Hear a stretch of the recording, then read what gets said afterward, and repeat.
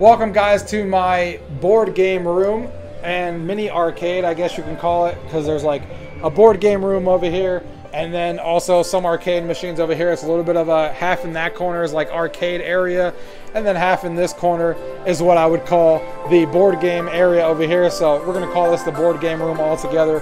So I'm gonna show you guys everything that we have going on in this room. So let's go ahead and get into the video. Gaming tech, eating brekkie is the gaming tech. Going for a brekkie is the gaming tech.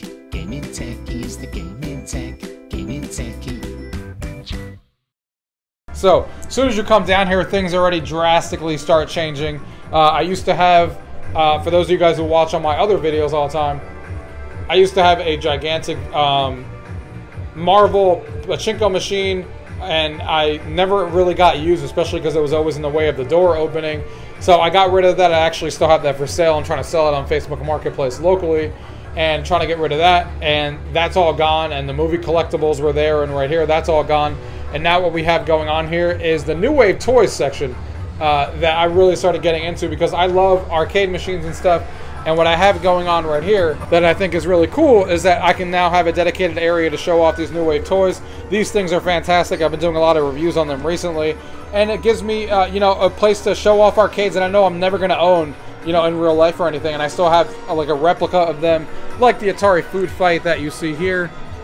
We got that going on right there. Missile Command up there. And then we have uh, 1942 sitting down there. I love having these things on. Uh, you know, I got my little display going on right here. I got a little wallpaper going on in the background. The the backlight, I have a backlight sitting up there that kind of shines down, sitting up there. If you guys can see it, shining down on the poster, and it makes it look freaking awesome. Makes the the um, neon matte here tile uh, show up and look really good. Added some little posters there or some, to match some things. We have some uh, cool figurines here from some of my stuff that revolve around the 80s.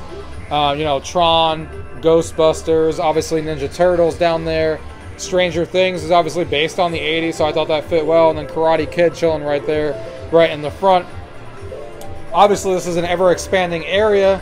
As a matter of fact, I have you know other things coming in in a couple days, but I don't want to wait to get this video out anymore. Down here, I'm going to be adding the big. I did end up getting the big uh, replica machine of the M90. So I'll be doing a video review on that next week, and that will go down here. And this will obviously, I'm still missing two more of these UV pads to, to kind of decorate this out uh, because they're sold out right now. But essentially, I'll have this obviously covered in the same thing on the second floor, and this will be where my other machines go when I keep getting more of them. I'll have this set up exactly the same. I don't want to change this. This will be kind of like where I showcase my two most newest ones, and then the other ones will kind of be down here, uh, you know, in a gigantic like little square area right here. So I think it came out really good. The only other thing I want to add because they're sold out as well is the guy who makes this also, they also on New Wave Toys have like a 4x6 version of different arcade posters that would fit perfectly right here on these sides. And they come. I want to put four of them, one here, one here, one here, one here. So then the UV light will bounce off of those even better, or not even better, but just more. So I have some more UV uh, blacklight posters, and uh, you know that matches the arcade theme. But I love this poster, and I can't wait to get the smaller ones. But that's really the only thing that this area is missing um, that I didn't get a chance to do. And then over here, we got uh, just stuff that I'm adding from New Wave Toys that kind of match this area. We got the insert coin Blu-ray up there that they did. We got the uh, little uh, power bank that they created. We got the M90 Mini sitting right here. We got the arcade stick uh, for 1943. These two, these three spots are empty because I actually have a couple of things coming in. Uh, that just didn't make it in time for this video. Like I got another, I got the Street Fighter one that's going to go down here. Uh, just a couple of other things that are going to be sitting there that are going to, and then I have a few shelves down below that will kind of just sit there until New Wave Toys comes out with some things that maybe just fit on those shelves. But right now, all the shelves up to that corner will be filled, and it's going to look great having all the New Wave Toys collectibles and stuff like that sitting right here. And then I did have to mention I have the arcade down there, the book from New Wave Toys as well down there, which is really cool. So love how this area has turned out. It's like 95% complete, just missing a couple of posters there, uh, and then those three things that are coming in the mail. Uh, need a couple of posters when those come back in stock, the 4x6s, and then a couple more UV, um, you know, backlight mats there for the second shelf to get that done. Uh, coming around this corner, I do still have my Marvel machine right here, the limited edition one that's modded with a RetroPie to be able to play all the Marvel and, and fighting games with the uh, Sanwa joysticks and buttons, which is fantastic. Love this limited edition.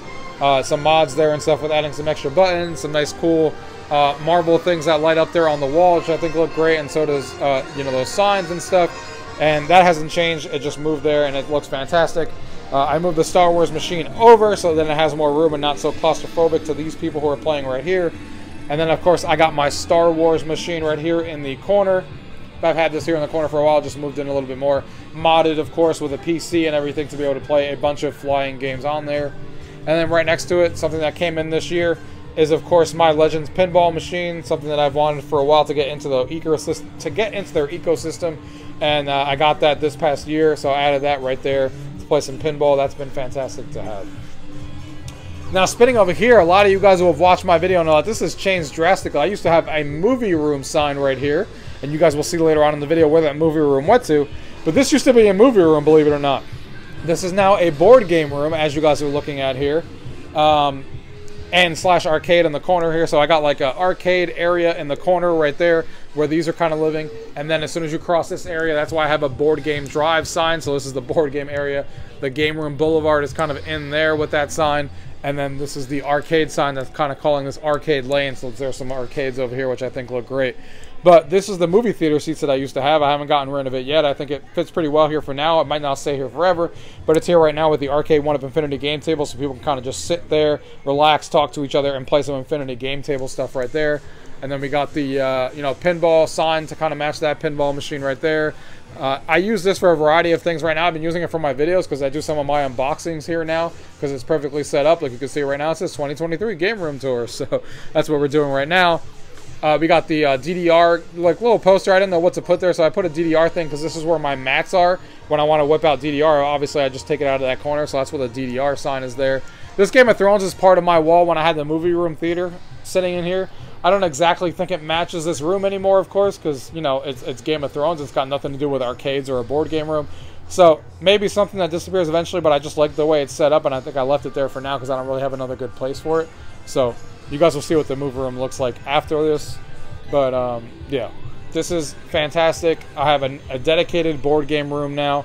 We got some comics here on the side, and then we got the board game sign that I just had created.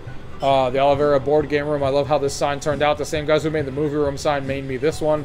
Fantastic. And then I got this custom made on Etsy as well. This is freaking awesome. They take your favorite games from board games and then kind of do things there like, you know, We Connect Cities and Complete Tickets. You guys should know what that's from. Uh, you know, everything pertains to something.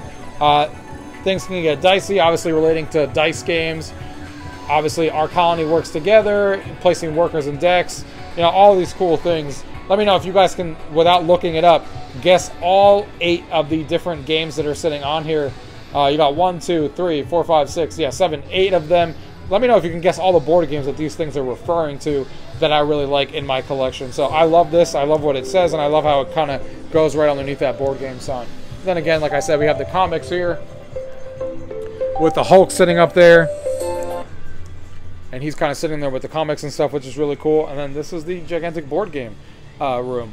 I think it turned out fantastic. I was really nervous when I was putting this together because I didn't think the table was going to fit with two shelves next to it. It is a little bit tighter than you would probably want to, but I can easily, you know, open this chair and kind of sit there and not have a problem. Uh, the obviously people who might be slightly bigger and stuff like that obviously have the opposite ends right here that they can sit at. So it's not perfect, but I say it's pretty good. And um, you know, like I said, you could fit well on either side. It's just that you know sometimes if you're sitting on that corner, you may have to tell one of the other two people to get up so you can get around them. But once you're in there, you're really comfortable, and, and everyone who I had tested didn't have an issue with it. Because my only other option is to just only have shelves on one side and then lose all the storage on both sides. And then I obviously wanted it to be kind of a board game room, and you get that feeling by having shelves on both sides. So I think this works really well. I can't wait to have my first board game night here. I've only had a few people test it out. We played a couple things on here, but as far as a true board game night that I usually have, haven't had one yet, but it's definitely coming now soon, and I'm excited about it here. Uh, this is obviously the little area that I have here. I got some posters, Board Game Geek. We got a bunch of my board games here. I'm not going to go through every shelf here, of course. We'll be here forever. But we got like Catan there, the 3D version, and then just a couple of random knickknacks there to kind of show off there. And then what I do is I have a lot of board games like behind these, but I show off my favorite ones that I like currently. Uh, and I kind of have those on the front, and then the other ones are kind of slid in behind it. So you'll see a lot of board games that I really like, kind of front, face, and center. And then there's a bunch of board games, obviously, behind each one. Same thing with the ones back here, as you guys are looking at. Uh, we got some board games down there. Uh, this is where all my stuff goes. I have a switch there, my Sonos and stuff that goes outside, and my switch kind of lands. Everything Ethernet related in the house kind of lands right here in this little cubicle because that's where they used to go before uh, when the movie room was here. So I tied it up as much as I could and, and kind of set that right there. Uh, got some board game, uh, got some candy over here. Since you guys remember, I used to have a candy station that used to be in the board game corner right there. That did get sold off because obviously I have no room to put that here anymore to have a candy station anymore. So what I did instead is I got this little cart, and then obviously when we're playing board games and stuff, is usually when people want to have candy and stuff. So I kind of just have that sitting right here ready with some of my favorite candy and some things that a lot of people like uh, you know, kind of sitting here. Obviously, I have to get more candy. It's not completely full, but it's just kind of to show off what my idea was. Little cart there, just for some candy and stuff.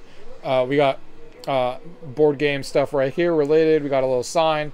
This is a really cool sign that I got from Etsy as well. Board Games Hero Challenge, where you do all these challenges for board games. Like read a book about board games, play one game for four hours straight, and then you kind of cross them off and then you get like points over here to try and build your stamina, your exploration and stuff. It's really cool, uh, you know, to complete these challenges when you're playing board games. And then right here in the middle, I just got some knickknacks. These are my two favorite games currently. Dead of Winter has been my favorite game for a while. Love that game. And then Feed the Kraken is just another one of my favorite games right now. Drop Mix to show off there. I love Drop Mix even though it's not really supported anymore, but it does still work.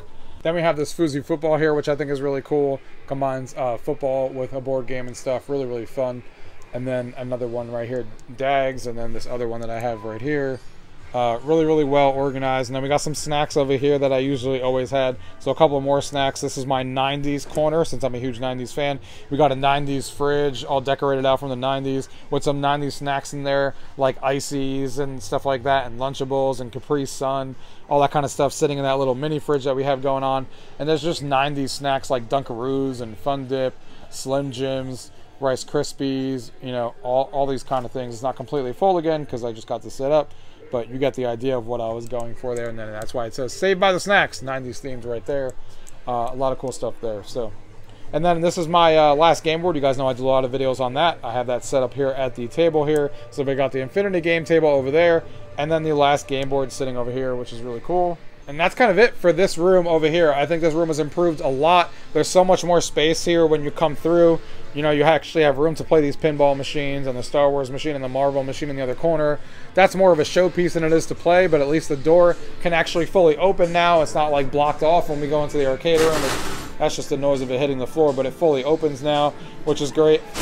Unlike before, where it was hard to get in there, and this just came out really well. Love the board game area because I love board games and being able to have dedicated space for the Infinity game table, the Last GameBoard, and just all my board games surrounding me. It's really, really fun. Uh, I almost forgot about this area over here, but I have a couple of knickknacks here, uh, some other games, some board game books, and then this is a game I actually made myself. Uh, it's a board game that kind of takes the Mario Party feel uh, where you're playing Mario Party on a board game, but all the mini games are essentially board games. Where I take some of the board games that I own and make them into mini games and stuff like that, and play like a Mario Party type mashup game. Kind of use that when I have like four to eight people over, so we can play a bunch of board games in one night. Maybe as opposed to playing one or two board games a night, we play that. It's a pretty long game. It takes about four hours, but you get to play a variety of different board games in my collection. So, a lot of people seem to like that when uh, I showed my friends uh, that. Then we got a sign over here. No, not like Monopoly. A nice little uh, picture there. Love this sign over here. Wil Wheaton up there. Posing up there. We got this stuff Board Gamers Say, which is pretty hilarious. You guys can read some of those. And then I have Too Many Board Games that no one ever sitting right there. And then Top 100 Board Games. Uh, you scratch them off as you get them. I haven't started scratching them off yet because I do own some, but those are the top 100 board games based on 2022 on Board Game Geek that you can kind of cross off, which is really cool. Alright guys, I hope you guys enjoyed that video of the board game room here and all the changes. I can't believe this used to be a movie room. I can't believe I used to sit on this couch all the way up here and watch my projector and now I look at it and I'm like, damn, this is now a board game room. What a gigantic change. A lot of work went into this to move things around, but a lot of good stuff and I can't wait to have board game nights in here. I feel like this is a great use of this space. and it's going to work out really well and i can't wait for people to come over and check it out so guys if you guys have any questions about anything you guys have seen as always leave it down below if not thank you guys for watching until next time